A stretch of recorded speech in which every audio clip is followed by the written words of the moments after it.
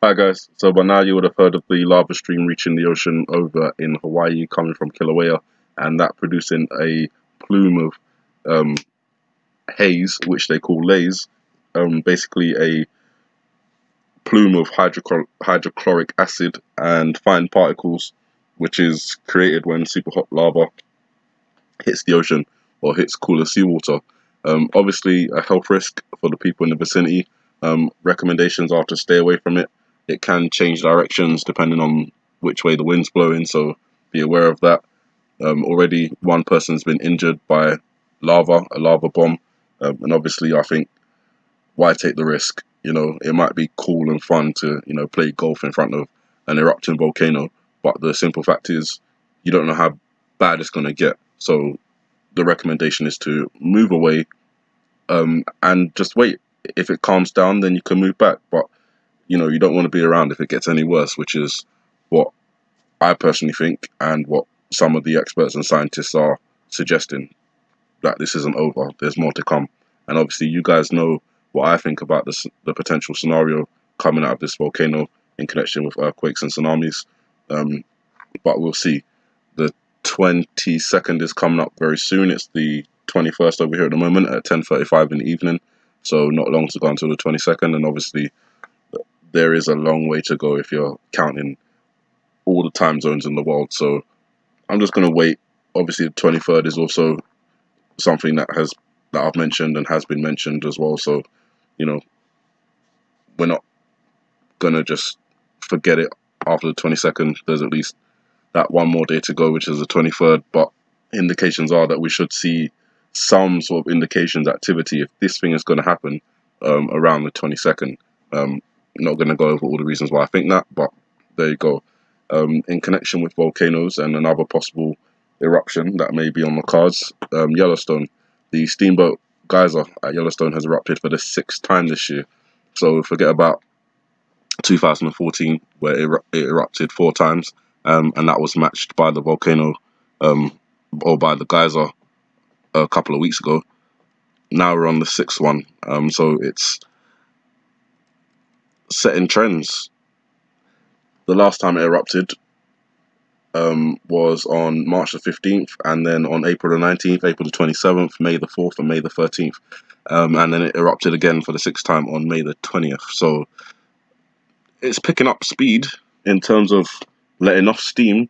Um, if that's an indication that the volcano is, you know, just letting off steam like it normally does and is going to settle back down, then that's a good thing. But you know, considering the earthquake activity that's been going on um, in Mexico, for example, today the 5.3, I think it was, that hit Mexico, um, and the activity that's going on along the California coast as well in terms of active um, active earthquakes. And then you've got Kilauea, not too far away, um, erupting and generating earthquakes there. It's possible all these earthquakes could be affecting Yellowstone because obviously everything's connected. That's how it is. So Yellowstone is, you know, showing some signs of earthquakes, small ones, but again, those small earthquakes indicate magma, move, magma movement below the ground.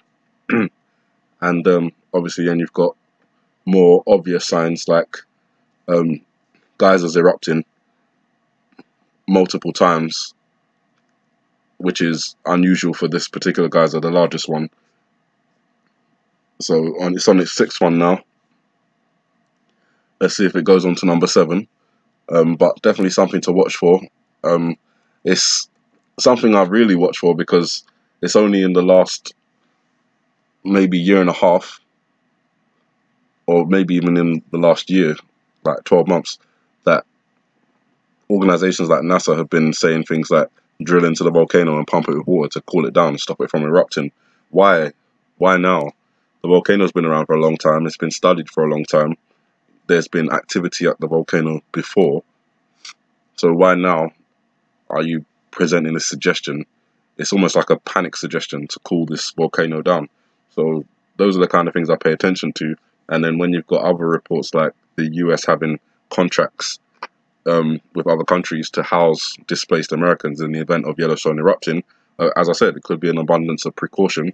Um, but the contracts are due to expire within the next five years. If it was an abundance of precaution. You know, maybe you'd seek to make that a little bit longer, some sort of on a. I, I don't know how long they've had it in place, but you know, I would definitely be considering like it's a 50 year plan, something like that, um, because it could erupt any time. But then again, if you know that something's going to happen within the next five years, you know, possibly within this year, then it could make sense why it expires. Um, but that's just something. That's just something that's gonna have to we wait and see. Arizona is preparing for a statewide drill to practice how it would respond to a migration of 400,000 people in case of a catastrophic California earthquake. I wonder how catastrophic magnitude 9 or above that would fall into the scenario that we've been talking about. Government agencies, businesses, and other organizations in Arizona plan to participate in an exercise to practice how the state would respond to a migration of 400,000 people in case of an earthquake. The exercise will be a drill in a case a catastrophic earthquake occurs in Southern California. The Arizona Department of Emergency and Military Affairs said participants in the National Mass Care exercise in the coming week will take part in the drill. They will tackle how to organize oper operations such as providing food, shelter, and medical services. The department added that the exercise planning has been underway for nearly a year. The state, the, uh, st the State Emergency Operations Center in Phoenix, along with many county, tribal, and municipal emergency operation centers, will activate during the exercise.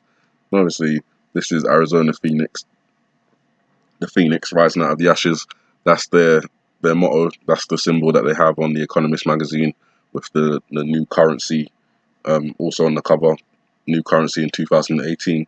So it's again interesting. You know, we're looking obviously the the big one in terms of California has been talked about for a number of years, but you know, this year we're looking at a a calamity, um, a mixture of events that are going to combine together to create the combined disasters.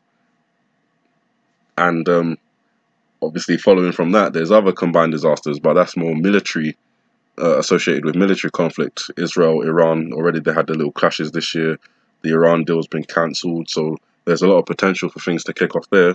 North Korea, you know, one minute they're denuclearizing and having peace talks, the next minute they're, you know, flipping flipping it around and saying they're going to cancel this, they're going to cancel that, and who knows what that leads to.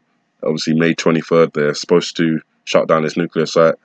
Indications are that they may follow through with that, but at the same time, they may not, depending on what happens in the next coming days. And we know how things can change from day to day, um, particularly in relation to Donald Trump.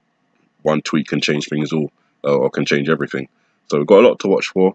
Some of the things may happen, some of the things may not. Um, you know, God only knows that I don't want any of these things to happen because it would just be fulfilling part of their plan at the same time. As I said before, all plans are part of God's plan.